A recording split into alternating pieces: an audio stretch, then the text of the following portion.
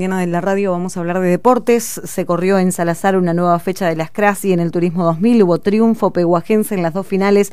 Vamos a hablar con el piloto local, José Luis Di Benedetto, que ya está en línea. José Luis, buen día, muchísimas gracias por atendernos y felicitaciones. Buen día, Andrea, ¿cómo te va? Muy bien. Eh, gracias a vos y, a, y, a, Tito, que siempre se están preocupando por buscar la nota, ¿no? Eh, José Luis, bueno, contanos cómo se dio este fin de semana que te tuvo allí como protagonista.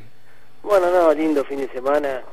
Eh, pudimos ganar las dos carreras y, bueno, fueron lindas las carreras porque la pudimos ganar las dos en la última vuelta, ¿no? Eh, para nosotros es muy bueno porque habíamos trabajado mucho, Caíto, el, otro piloto que tenemos, que es el binomio, que corremos en binomio, había trabajado mucho en el auto. Eh, ya en el equipo nuestro están trabajando los nenes nuestros o sea, mi sobrino y mi hijo, que están los dos trabajando en el auto a la par nuestra, y bueno, y en el motor está trabajando Juan Ignacio Díez, que es el que se está encargando plenamente de, ese motor y de ese auto, ¿no? eh, contento porque bueno, pudimos hacer, pudimos llegar a las dos finales, porque hacía varias carreras que, que no podíamos llegar eh, las dos finales, veníamos llegando una final y una final parábamos, Así que bueno, este domingo pudimos complementar las dos finales y bueno, tuvimos la suerte de poder ganar las dos, ¿no? Bien. Eh, contanos y con este resultado, ¿cómo, ¿cómo vas en el campeonato? No, no, en el campeonato, bueno, llegamos a Salazar primero, estamos por un punto adelante, eh, habíamos parado en la hora una final y bueno, veníamos 20 puntos adelante y, y bueno, quedamos a un punto y bueno, con estas dos carreras quedamos a 21 puntos adelante Así que bueno, trabajando para el objetivo, Andrea, y bueno, y, y seguir trabajando para, para, para que las cosas se vean y que podamos llegar todas las carreras, ¿no? Bien.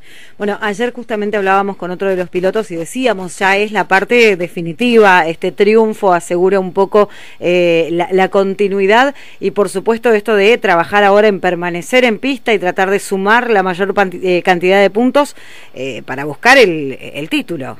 Sí, para nosotros sí, porque bueno, o sea, tuvimos la posibilidad de ganar eh, algunas carreras en el año y bueno, eh, lo más importante es que el auto no se pare, porque hay mucha puntuación de carrera a carrera y, y, lo que más queremos es bueno que el auto nuestro no se pare. Venimos trabajando mucho, como ya te dije, vienen trabajando los nenes nuestros en el auto, que ya lo estamos fogueando para, para cuando ellos puedan correr. Los herederos. Y sí, los herederos nuestros, porque bueno, nosotros yo ya estoy llegando a los 50, así que ya, ya va para este año va para 30 años de carrera. Eh, así que bueno, por ahí dentro de... Los nenes tienen... Mi sobrino tiene 17 y el nene mío tiene 14, así que en cualquier momento alguno de los dos va a correr. Así que trabajando con ellos y bueno, con toda la gente del taller, con Caito en Paso, que trabaja mucho, que es el dueño del auto, ¿no? Porque yo, si bien lo corro el auto, el auto es de él y, y yo me subo y lo manejo, nada más. Así que eh, lo más importante, bueno, que, que podamos llegar y que podamos eh, eh, seguir peleando el campeonato, ¿no? Bien, bueno, en cuanto al marco de público, ¿cómo se presentó el fin de semana? No, no, había gente, si bien no, no, no, nos acompañó el día porque hacía frío, pero sí, sí, había gente, había muchos autos, había 61 autos, que bueno, para nosotros muy bueno porque bueno, venimos trabajando con la categoría y los autos se vienen sumando y bueno, eh, contento por eso y bueno, ojalá que acá en Peguajó el 8 de, el 8 de septiembre eh, se junte mucha gente, ¿no? Y haga un día lindo porque ya vamos a estar, eh, ya vamos a estar cerca de la primavera, seguramente que va a ser un día lindo. Ojalá así sea. Bueno, esto de, de correr también en Peguajó tiene un condimento extra, lo hablamos con otros pilotos locales, de, de contar con tu gente, de estar cerca, de correr de local.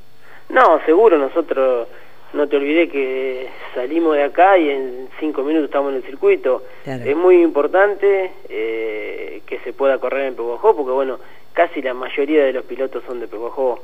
Eh, espero bueno que sea un día lindo y bueno que, que, que, que haya un marco de gente muy bueno y que, que lo podamos lograr, ¿no? Ojalá así sea. Eh, José Luis, te agradecemos muchísimo por estos minutos. Felicitaciones una vez más por el triunfo del fin de semana y estaremos atentos a lo que ocurra en la próxima aquí en Peguajó. No, gracias a vos, Andrea. Eh, déjame agradecerle a Tito, que también siempre me están llamando, me están buscando para la nota. Agradecerle a toda la gente de acá del taller, a mi familia, eh, a todos los chicos del taller, eh, que siempre nos están dando una mano.